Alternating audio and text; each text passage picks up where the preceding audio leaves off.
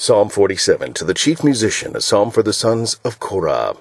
O clap your hands, all ye people. Shout unto God with the voice of triumph. For the Lord most high is terrible. He is a great king over all the earth. He shall subdue the people under us, and the nations under our feet. He shall choose our inheritance for us, the excellency of Jacob, whom he loved. Selah.